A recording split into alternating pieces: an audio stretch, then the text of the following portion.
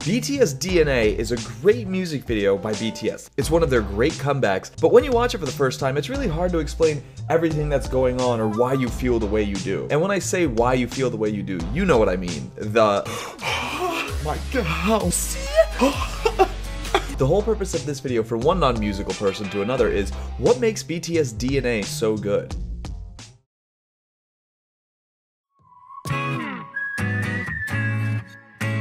Whoa, that is that's a clap. No, that's an eye. Oh my God, that's a that's Jungkook's eye. Man, is that going on your your head? Did you go to a doctor or something? Are you an alien? I mean, I would get that checked out. That looks like there's something in there. Your pupils shouldn't look like that. This song is called DNA, but it is so spacey and on a bigger picture that they could have made it even more space-like if they really wanted to. Instead, they started off by showing a nebula that looks like the cat's eye nebula in Jungkook's eye. And yeah, I get what it's trying to say. It's supposed to immediately right off the bat be like, the universe is within us all. Set that tone, okay, good. Or that he's currently a cat and is just really good at disguising it. I mean, have you seen those moves? There's no way a human can do those. Besides the musical aspect of showing the whistle three times, I don't know why they do the three individual zooms on Jungkook's face, aside from the fact that they're trying to just show his good side, his better side, and his best side. And I just love how on the third one is like when you see all this nerd stuff appearing on screen, like he was trying to turn the car, and it took the third ignition for like stuff to happen. Okay, so right after this whistling, the first dancing or choreographed scene we see is on that yellowish building or the yellowish pylons with like the ocean in the background. Now we have seen yellow playing a big deal in the teasers, but it didn't didn't really emphasize on what the yellow really signifies. And I know there have been multiple theories about this, but I'm just gonna try to keep this strictly of what happened in the video. So to me, it looks like that this location is supposed to be somewhere mysterious. It could be somewhere in the middle of the universe in some weird alternate dimension, or it's just supposed to show that they can dance really well, but at the same time still tying everything together to the whole theme of DNA. And after that, they cut to a different scene, which is like this 80s, 90s really colorful scene that looks like some weird interdimensional changing room. So it goes between these two styles of scenes where it's like either day or night at the yellow pylon area or some version of this like mysterious color for most of the music video. What's really cool too is you have these cuts to like some spacey background or like that giant black hole that turns into the ink thing, which I will talk about in a second. But to me, it almost seems like it's supposed to be like this doorway to like the entire universe, like connecting everything. It's supposed to say that everything is connected.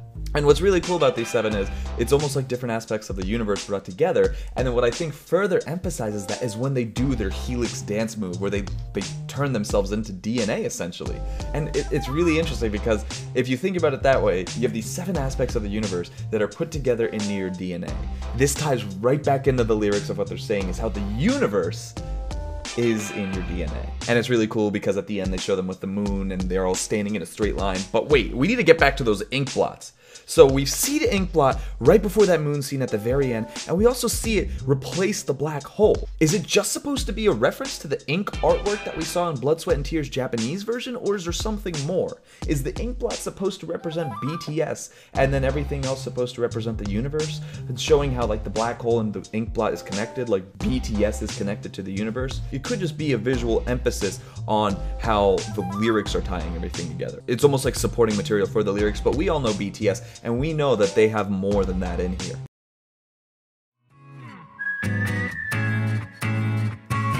It starts off with a very noticeable whistle by Jungkook, which is deliberately repeated three times. Now, I'm not sure why it's repeated three times, the only thing that I can possibly think of is it's supposed to let you figure out what that whistle sound is so you're familiar with it as the song progresses. This is then continuously heard and then overlaid on top of the acoustics 15 seconds after the whistling really starts. And what's really, really cool is you have this high frequency whistling that's going on with the higher sounding acoustics. You know, it's not extremely high, but it's still on the higher side of things. This is countered by V with this really, really really bassy introduction verse.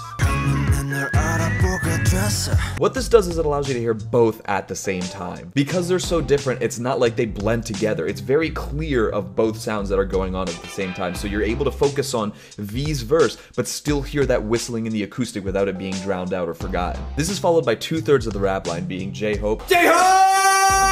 And Rapmon or RM as he's going by now. But it's really clever how they go about doing this because they start with J-Hope. And when J-Hope starts, he goes really high. So it's a nice little contrast from V's voice as well, where you had V's bassy voice with these higher acoustics and whistling going, and then it's followed by a verse that's the exact opposite of V, which is, you know, J-Hope's sunny smile with his really, really fast-paced rap, which then flows into Rapmon's deeper rapping. Rapmon's rapping is deeper than J-Hope's, but what it does is it still keeps the intensity. So even though you have both V and Rapmon having a lower voice, it's completely different on how it makes you feel. V is that nice warming introduction that gets you warmed up for the song and makes you feel really calm. And then what J-Hope and both Rapmon do is they help hype you up to get into the middle of it. They basically are saying that we're past the intro and now we're ramping up into what we have next. So right after this is where we hit the pre-chorus and the chorus. And what I really like about this is even though we just had Rapmon's really fast, but low voice, this pre-chorus and chorus goes the opposite, where it's a higher voice, but it's much slower. So it's a nice little contrast that we have between the two. And what I really like is it's all just setting up for the breakdown that occurs right after. At this point in the song, you should notice that it's taking this high-low, high-low approach. The song starts off with the high-pitched whistling,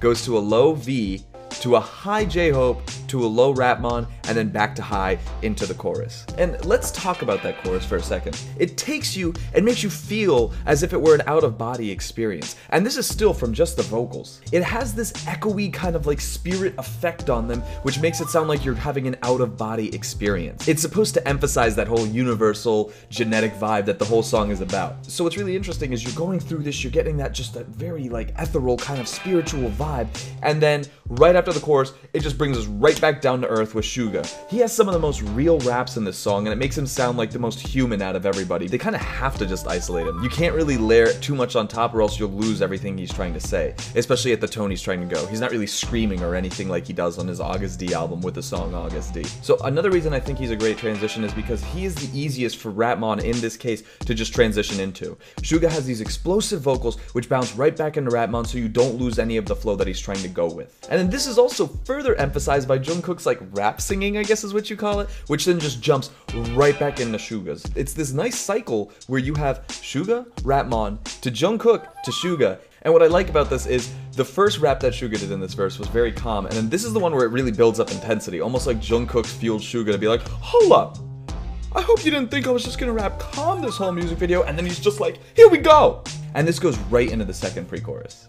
Here's also where you start hearing changes to the chorus slightly, where it's even more ethereal or universal sound. The end of the chorus starts building up with their voices, and it doesn't just go back into another verse, it starts building up to this conclusion, where you hear more of the vocals going on, more of it's layered on top of each other, and it leads you and drives you right to that very last DNA you hear. It flows perfectly into the conclusion, which is a more intense sounding version of the chorus. And it really ties everything together by adding on the supporting vocals that go on until the last DNA is uttered. And what I love throughout this track is you hear a robotic but at the same time like out of body DNA uttered. And it's just once again saying that this is what the song is about and this is what it's coming back to. Even though we're talking about space, we're talking about the galaxy, we're coming back to the fact that it's DNA. And it really hones in on that fact. Now, I'm not going to go too much into the lyrics right now, but it's such a big key and important part because of how they say it that it's worth being mentioned. First off, I'm counting the whistling as part of the vocals, and I know vocals is like vocal cords, but it's coming out of his mouth, so it's the same thing. It starts off with that simple acoustic line right after the whistling, and it sounds like it has just a rhythm guitar and a main guitar going on. So it keeps this simple beat throughout most of the verses in the song, but there's different flavors of it, where they add more drums onto it, maybe a bass guitar, but you still have that underlying beat, where you know if you heard any of the different versions of it, you'd be able to say that's BTS DNA. I know exactly what that song is. What I like is it continues for the first verse, but you have that little bit of transition period where it starts building up to the pre-chorus and the main chorus, which is that drum line. You start hearing it kick in, and that's when you know that things are starting to flow now. We're, we're moving away from that first acoustic verse into something more intricate, which is what happens as we get into the rap line to make sure that the rap is still being supported properly. It's not something to overwhelm the rap, but you still want something where it has a nice wave to ride on. It flows in perfectly with the chorus and the pre-chorus and the synths that happen in the chorus and the pre-chorus. And the big part of the chorus or the main part of the song is it's mainly synths.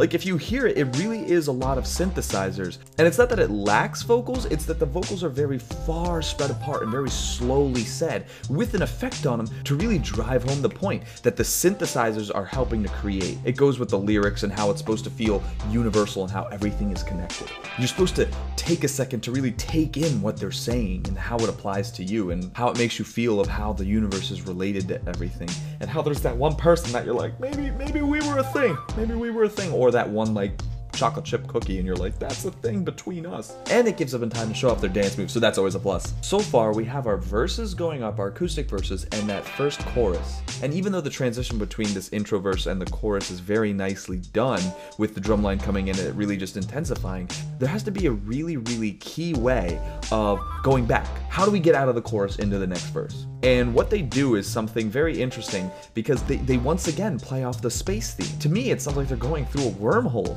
Like it's going through a wormhole to lead you back to like something else. We were just taken in an out of body experience and went into the BTS dimension, and now the echoey sound is bringing us back to like the normal sounding vocals without any effects on them. And it goes right back into the verse with the acoustic guitars, but it has that other flavors that I was talking about, where I think in the one right after you hear more drums and maybe a little bit more bass line. And when I say bass line, I mean an actual bass guitar. And what's really clever is this goes up right again up to the next chorus. They're seasoning these verses with a bit more sounds to let you know that okay, we are progressing throughout this track. You're hearing more complexities to it, and we're still not done. And these complexities aren't so large that it's gonna take away from the conclusion. It's just enough where you're like, oh, okay, this sounds a little different, so I can tell that there's been like a transition throughout the story that they're trying to tell.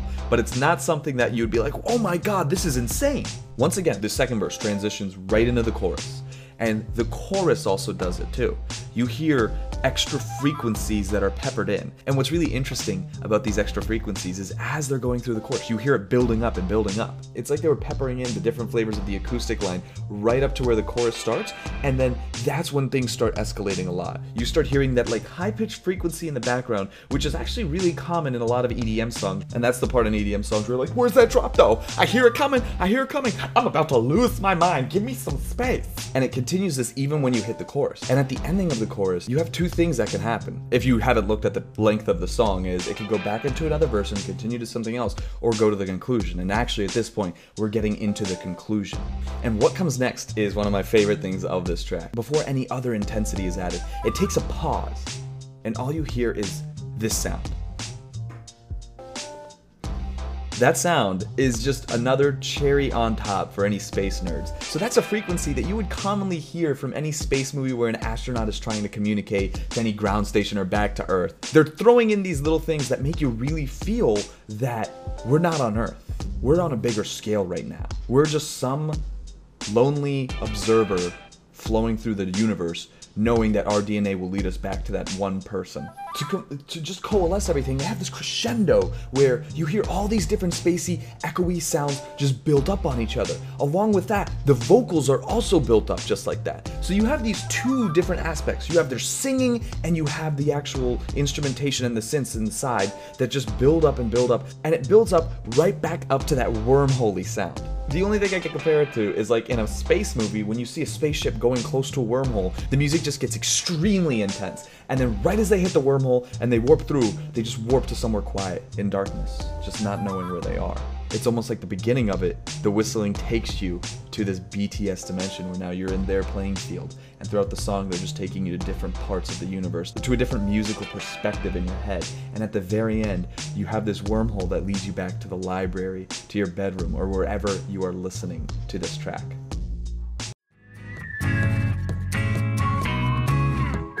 The universe wrote in our DNA that you should go out with me or else Morgan Freeman will be sad.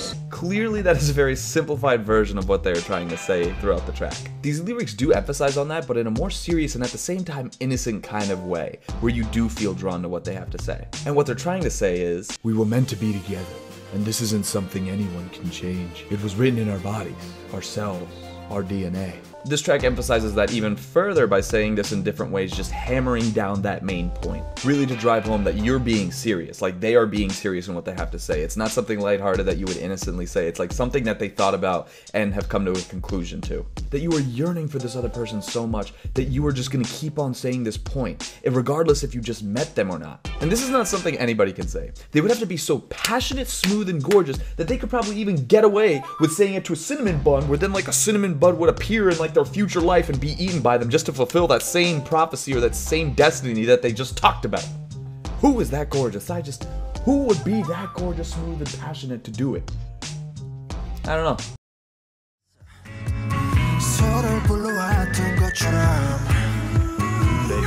This is one of the most intricate tracks by BTS because of the approach they took to this. They didn't want to do something supremely intense, but at the same time, they didn't want to lose that impact that they are known for. And they went with more of a sci fi theme, even though it's called DNA. And yeah, the lyrics did have to deal with the universe, but the way they approached it was so unique. Everything was perfect in terms of balance. They didn't have it almost seem like a sci fi story where they're on a different planet going through finding your DNA, but at the same time, it wasn't just some abstract dancing box. They found this middle ground where they were able to portray everything they wanted, still connected to the fandom and all the theories that you have, and make it seem like that they were in this together with you guys, with Army. They keep it so calm, but at the same time, your heart rate still is increasing as you listen to it because you don't know which way it's gonna go. It's it's super clever because I still have that aura of mystery where you still could talk about the music video and someone else could talk about it too, and have two completely different outlooks on some certain scenes and characteristics, which just keeps the discussion going until their next album, which who knows what that will be, and who knows how it will tie together with the whole BTS run to Wings to DNA to Her to everything. Fantastic job on this track and the rest of the album, and I look forward to seeing whatever else you have next. Hey guys, thank you so much for watching this video. If you liked it, please leave a like, it really helps, and subscribe if you're new. I'd really appreciate it, and it lets me know that you want me to do more of these. Maybe even more BTS ones. And until next time, peace.